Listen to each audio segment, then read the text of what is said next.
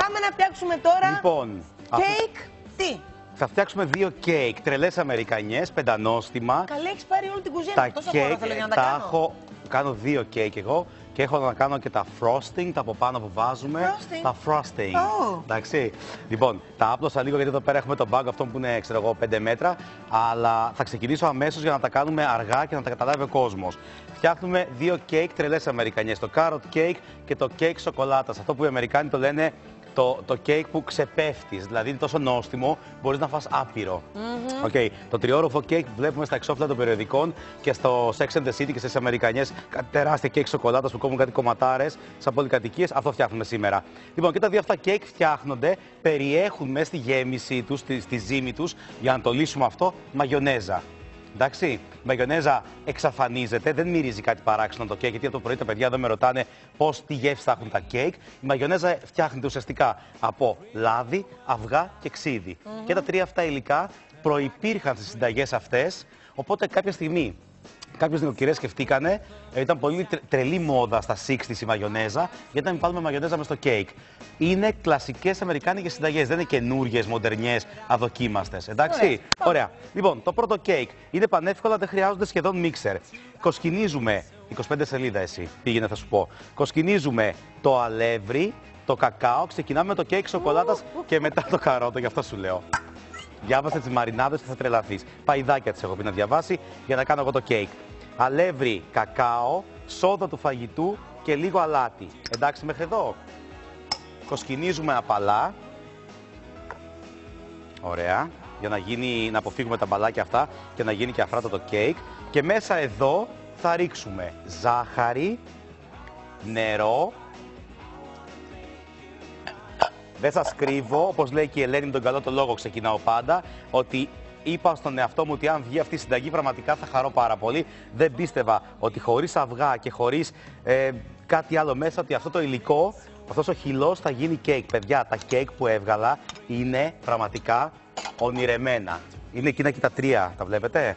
Ανακατεύουμε απαλά Εντάξει, μη σας ξενίζει η μαγιονέζα. Εξαφανίζεται μέσα στο μείγμα. Είναι σαν να βάζετε λάδι και αυγά. Το ίδιο ακριβώς είναι. Φτιάχνουμε αυτό το χυλό και τώρα αρχίζει και μοιάζει με κέικ. Εντάξει; Εντάξει. Μπράβο. Είμαι, είμαι, είμαι και εγώ πάρα πολύ δύσπιστος με τις νέες συνταγές. Πραγματικά δεν είμαι έτσι ευκολόπιστος και λέω ότι α, πρέπει να πετύχει αυτό το κέικ. Δεν γίνεται. Πρέπει πραγματικά να, να γίνει ωραίο. Και το δοκίμασα από περιέργεια. Μοιράζουμε, τώρα δώστε βάση.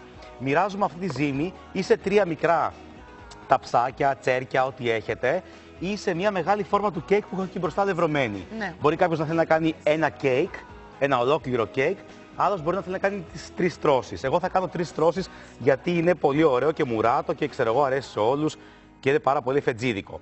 Λοιπόν, έκανα μια μικρή έρευνα εχθές. Το 1907 Γερμανοί μετανάστες ανοίγουν τελικατέσεν στην Columbus Avenue στη Νέα Υόρκη. Ο ιδιοκτήτης λέγεται Richard Hellman. Οκ, okay, τρομερή ιστορία.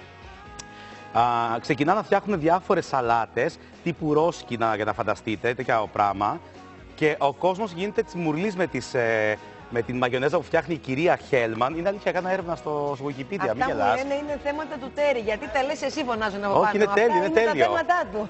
Ακούστε τώρα. Η κυρία Χέλμαν λοιπόν έκανε τόσο ωραία μαγιονέζα που γίνεται τσιμουρλή στη Νέα Υόρκη. Πάνε, παίρνουν όλοι σε βαζάκια. Το 1912 μπαίνει σε βαζάκι, γίνεται τύπου προϊόν κανονικό. Το 1926 γίνεται φίρμα. Hellman's Blue Ribbon λέγεται. Εντάξει. Ο σύζυγος το έκανε; Ε, οικογένεια γενικώς. Εντάξει, Αυτή έκανε τις μαγιονέζες. Ο Ποιος σύζυγος το ήταν- έκανε επιχείρηση. Στο ταμείο ήταν ο σύζυγος, δεν ξέρω. Α, μάλιστα. Δεν λέει στο Wikipedia τέτοιες λεπτομέρειες. Πάντως το 1926 γίνεται μάρκα και τα έψαξα όλα ο- αυτά για να σας πω ότι α, στα 60s η μαγιονέζα έχει τόσο πολύ επιτυχία που α, μ, οι νοικοκυρές φτιάξαν μέχρι και κέικ. Πάμε να τα βάλουμε στο φούρνο. Έχουμε το φούρνο προθερμασμένο και ψήνουμε τα κέικ για περίπου 30 λεπτά στον αέρα στους 175 με 180 βαθμούς. Πάει αυτό. Έχουμε τα κέικ εδώ πέρα, έχουν κρυώσει. Κάνω λίγο γρήγορα, πηδάω τα βήματα, δηλαδή δεν θα σας δείξω το ψήσιμο, γιατί θέλω να τελειώνω, έχω να κάνω και το κέικ καρότο. Τρία στρόγγυλα μικρά κεϊκάκια. Τρομερά αφράτα, ζουλάω το ένα να το δείτε. Βλέπετε πόσο αφράτα είναι. Ουσιαστικά υποχωρεί κάτω από την ε, σπάτουλα. Χθες έψαξα και βρήκα και χημικά γιατί η μαγιονέζα βοηθάει το κέικ να γίνει αφράτο. Είναι πολύ μπλεγμένο με μόρια, με ηλεκτρόνια. Αφήστε το, ε, δεν είναι επί του παρόντος αυτά. Πάντως η μαγιονέζα έχει κάποιο, κάποια. ε, βοηθάει στη δομή του κέικ να γίνει αφράτη. Πάμε να στήσουμε το κέικ. Θα χρειαστούμε. Έχουν κρυώσει καλά αυτά, έτσι; Θα χρειαστούμε. Α, μ, φτιάχνουμε τώρα την επικάλυψη. Έχω χτυπήσει το Flora μαζί με τη ζάχαρη και έχουν αφρατέψει. Βλέπετε, όπως όταν ξεκινάμε τα κέικ, έχουν γίνει σχεδόν σαν σαντιγί. Τόσο απλά.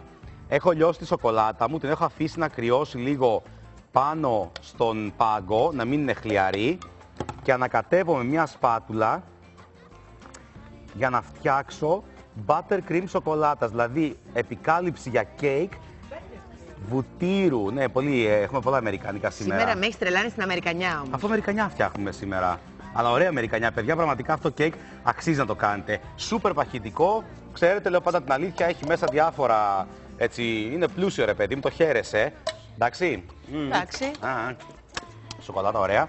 Και έχουμε φτιάξει λοιπόν μια ωραία buttercream σοκολάτας. Εντάξει. Αυτό, εντάξει, αυτό ήταν το αγαπημένο κέικ της Carrie Bradshaw στο Sex and the City. Μη μου λες τέτοια. Άμα σου λέω εγώ τώρα. Μόνο που δεν το τρώγε αυτή, το αγαπούσε να το βλέπει. Γιατί αυτή έτρωγε, το έτρωγε, το ξεκίνησε η έτρωγε. σειρά, ήταν Το από τα έτρωγε. κόκαλα βγαλμένη, τέλειωσε η σειρά. Το Από τα έτρωγε κόκαλα και- βγαλμένη. Υπάρχει και το, το φουρνάρικο στο οποίο υποτίθεται πως πήγαινε και έτρωγε. Εμένα πιο πολύ θα με έψινε η άλλη η που ήταν λίγο πιο σεξουλιάρα. Ότι Ποια, η πλάκωνε Σαμανθά; Τα κέικ με τις σοκολάτες. Και ήταν και πιο ρε παιδί μου, ήταν και πιο τσουποτή. Λοιπόν, δείτε, παιδιά, πεθαίνω για αυτό το πράγμα τώρα, έτσι. Βάζουμε κάτω, από κάτω λίγη εδώ πέρα, έβαλα μια κουταλιά Ναι, για να buttercream σου για να κολλήσει. κολλήσει. Εντάξει. Τα έχετε μάθει αυτά. Εντάξει. Συνέχεια εντάξει λες, ε. Το έχεις παρακάνει, το Τι ξέρεις. να κάνω κι εγώ. Με όποιον δάσκαλο καθίσει, τέτοια γράμματα θα μάθεις, εντάξει. Αλλά. Εντάξει. το καλοκαίρι θα με παίρνεις να με ρωτάς πώς κάνουμε τις ντοματιέ, πώς κάνουμε τις ντοματιέ. Εγώ δεν θα Το σηκώνω καλοκαίρι θα τηλέφωνο. σε περιμένω να έρθεις να σε ταΐσω. Τέλεια. Εγώ στη δροσιά και στα κύματα. Δούλεψε εσύ τώρα και το καλοκαίρι είναι η περίοδος των διακοπών. Δεν είναι για. Το καλοκαίρι τους ή άλλω θα κάνω μια μεγάλη έρευνα. Θα γυρίσω όλη την Ελλάδα να επισκεφτώ 500 νοικοκυρές, να μαζέψω συνταγές για ένα βιβλίο που ετοιμάζω και θα σας έρθω ούτως ή άλλως. Μακάρι. Θα γυρίσω όλη την Ελλάδα. Εκεί θα χρειαστώ τη βοήθειά σου, θα σε πάρω τηλέφωνο τον Ιούλιο. Θα με λοιπόν, πάρεις. στρώνουμε τα, και- την κρέμα ε, σοκολάτα και τα κεκάκια που λέμε αυτό Μα τι κέικ, να την παιδιά. κάνεις, τρι, τριόροφη. Έτσι είναι τα αμερικάνικα τα κέικ. Πιο ψηλά Α, μπορώ να σου σοβαρά πω. μιλάς. Ναι, ρε. Γιατί; Ε, γιατί έτσι είναι τη μόδας Και εκεί πώς το πέρα; δαγκώνουν μετά αυτοί αυτό; Δεν Μα παίρνει το το κόβουν, στόμα. κόβουν κάτι κομμάτια σαν πολύ κάτι. Ολόκληρο το παίρνουν και το τρώνε, το κόβουν κομμάτια. Ναι, ρε, εσύ, και κομμάτια που είναι Στο κόβουνε τρύπατο. κομμάτι. Δηλαδή είναι ένα, δύο, τρεις Το ορόφοι. κόβουν κομμάτι και στο βάζουν σε ένα χάρτινο σκαφάκι μέσα και Ναι. πα στους δρόμους τη Νέας Υόρκης και τρως το κέικ σοκολάτας έτσι. Καταλαβες; Όχι. Θα σου κόψω να δεις. Ναι. Πασαλίβουμε το κέικ ή μόνο την επιφάνεια με την κρέμα σοκολάτας. Πρέπει να το φτιάξετε αυτό μια φορά Μα στη τι ζωή θα σας. βάλει κι άλλο; Μα αυτό έτσι είναι η συνταγή. Εγώ φταίω ρε παιδί μου, η συνταγή έτσι είναι. Το γνήσιο αμερικάνικο κέικ σοκολάτας. Εντάξει, παιδιά, πασαλίβεται γύρω-γύρω για να κολλήσει. Και όσον ώρα πασαλίβω, να πω και μια πληροφορία. Ότι δεν το βάζουμε ψυγείο. Σήμερα μας έχεις τρελάνει τι πληροφορίες. Ε. Μας είπες Δεν είναι μέχρι την ωραίο. οικογένεια Χέλμανς πώς είναι γνωρίστηκαν, ωραίο. πώς άρχισαν να χτύνουν την εταιρεία. Ναι, αυτή ήταν κουτσί. Πώς προέκυψε η μαγιονέζα. Μας έχεις τρελάνει σήμερα. Μέσα στην πληροφόρηση είσαι. Ωραία, το, κα- στο carrot cake δεν θα βγάλω άχνα γιατί καίγουμε να Όχι, φύγω δεν γίνεται. κιόλας. Εμένα μου αρέσει Όχι, που μιλάς έχει πολύ. Είναι η τσιμουδιά. χαρά της ζωής είσαι. Α, ωραία, εντάξει. Τι να είσαι, μουγκοθόδωρας. Α, Α, ε, παππού, που είναι ο Γρηγόρης, έχει φαγητό στο φούρνο, έτσι μαγείρεψα.